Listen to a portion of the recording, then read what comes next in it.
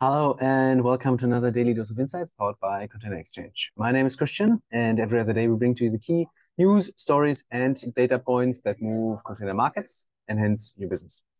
Today it's Wednesday, so as usual, we take a quick look at the charts that move this week um, uh, from a trading and leasing perspective. Let me quickly share my screen to show you a little bit of what I'm talking about.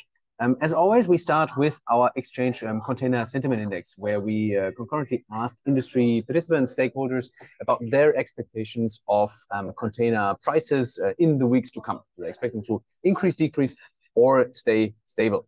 Um, and uh, out of those answers, we uh, build an index uh, where uh, reading above zero means the industry on average is more optimistic than, than pessimistic. And as you can see here, the um, sentiment index remains on a very elevated level, um, close to its all-time high of 38.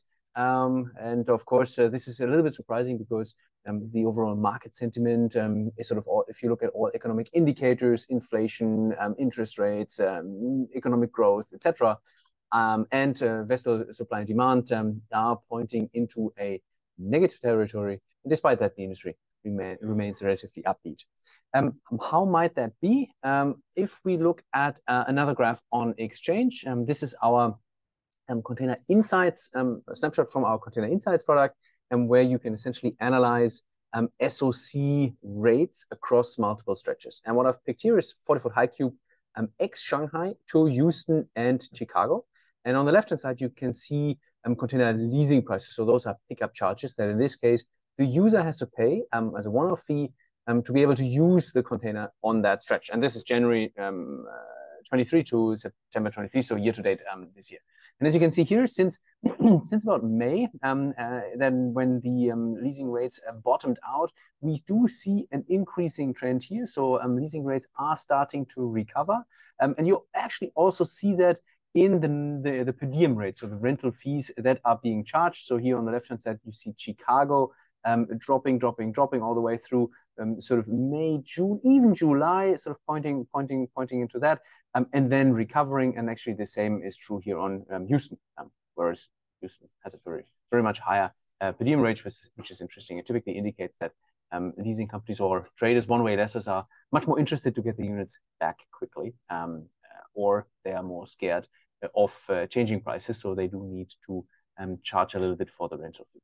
And now, again, you might say, why is this the case? Um, how, how can that be? Um, and if you actually look at uh, container purchasing prices um, and the price deltas between um, Shanghai and uh, Houston and Chicago, um, of Shanghai is one location and Houston and Chicago on the, on the other side, you do, you do see um, that this sort of leasing charge trend actually balances out all uh, sort of uh, possible product, uh, possible profit uh, margins, at least to a certain extent. so that means that there was a price delta uh, between um, Shanghai and uh, and the US locations. I mean, this is basically being arbitraged away now by the market, and because some uh, smart traders are buying containers in Shanghai, repositioning them over to the US and um, selling them there. Um, so, mm, of course, a little bit of marketing here. Um, you can use all that um, stuff on insights to really make sure that you improve your decision making, both on the container purchasing as well as on the leasing front, both for users and suppliers.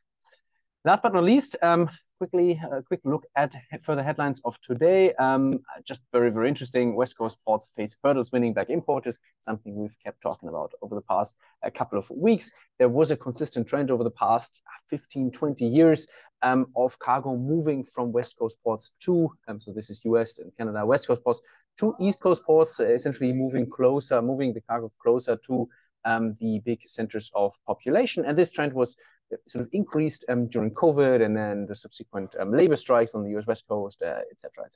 And of course, the question was whether the Panama Canal would um, sort of turn this trend around, but we don't really see this. And now the press is also talking about this. Second um, headline, China-US box trade still expanding despite falling rates. And so why are rates falling, you might ask? Well, there is an increasing capacity being deployed on those trade lanes, especially through newcomers. So you see SeaStar, Sinokor, Yangpu New Shipping, etc., etc., pushing into that market, lured in by relatively high rates. Um, and now, of course, that supply demand um, devil is at works again um, and pushes down rates because overcapacity um, is showing up in those trades. And then last but not least, um, quick look at the Atlantic trade. Um, no bottom inside for free falling transatlantic rates. Um, I just, it's no no news here, but I just picked that up because I thought the, the stat was very, very, very interesting that the spot rate of around about 630 um, dollars per 40-foot equivalent unit is down 57% to the same, compared to the same day in pre-pandemic 2019. So even before um, pandemic, we're, we're much, much below um, that, that pre-pandemic rate. Um, that's it from me, from us for today, a little bit longer. Um, hope you um, enjoyed this and I didn't bore you. Um, thanks a lot for tuning in. Um, take care, have a good rest of the week and talk to you all on Friday. Bye-bye.